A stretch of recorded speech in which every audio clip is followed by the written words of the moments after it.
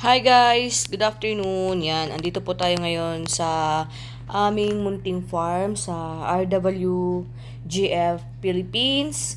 Ayan, sa mga baguhan lamang po, ako po si Cheryl Lumboy ng RW Philippines. Yan po, dahil po nga mayroon RWGF USA.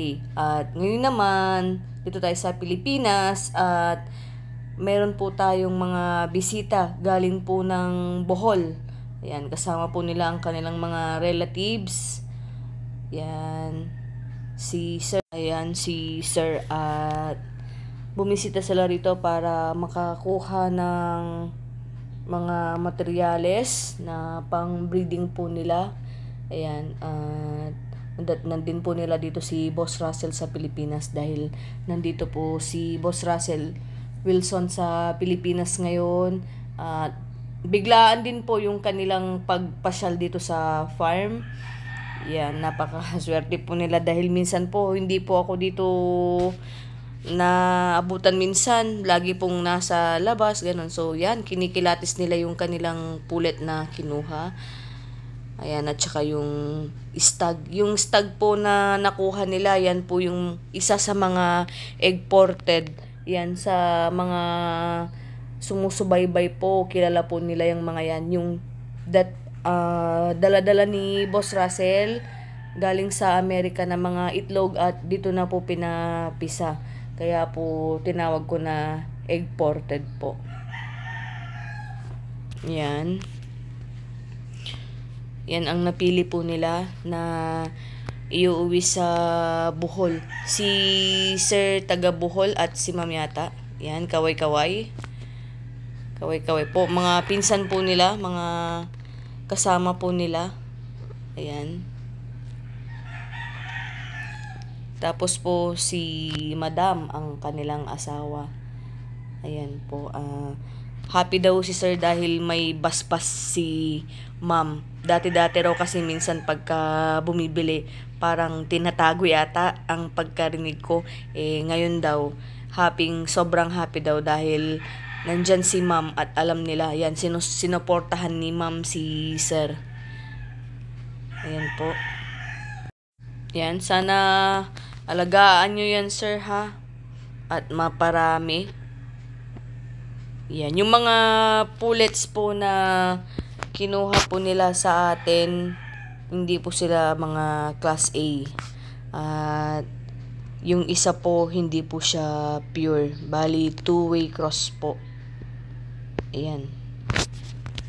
So yung pinapakita po natin, yan po yung nakuha nilang lalaki.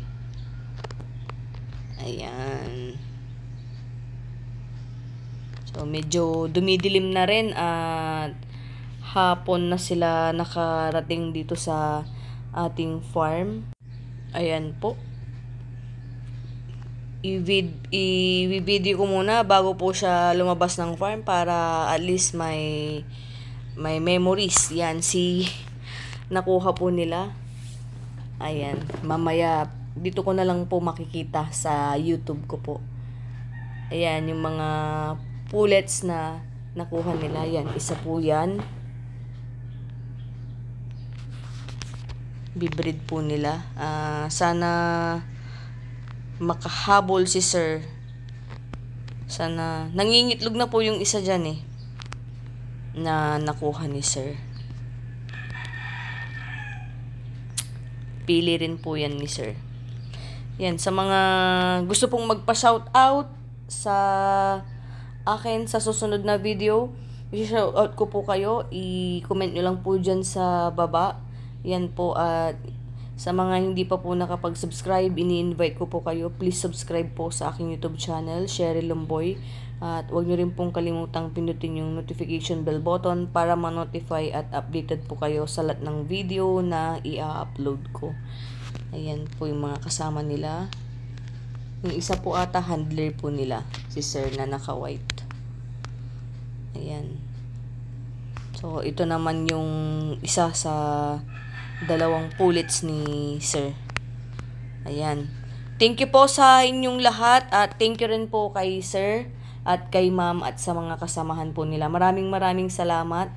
po sa inyo, sa tiwala po. Salamat po.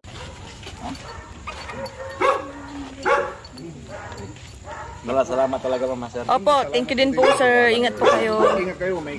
Babalik pa naman pa ako kasi yung mga... Production ng ano.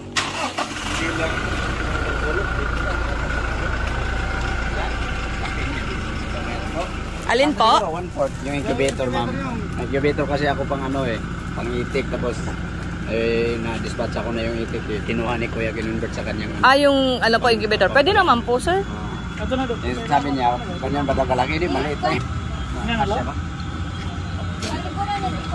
Yun. Yun naman naman ito. Hindi na naman ito. Okay po siya sir ha. Pa-check-check na lang po no. Okay. Ingat po. Thank you. Salamat din po. Ingat po kayo sa biyahe. Bye-bye po. Thank you po. Bye-bye po. Ingat po.